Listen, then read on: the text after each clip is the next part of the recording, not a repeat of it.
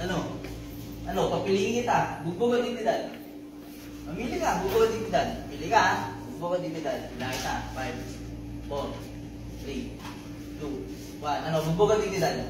Bugbog. Sayang, tapos na sana to eh. Kung pinili mo sana dignidad, tapos na sana. Pag pinili niya dignidad, paluluhurin ko siya, dilaan niya yung dalawang sapatos ko, dilaan niya yung ko. Ano lang, pinili niya eh. No, let's go!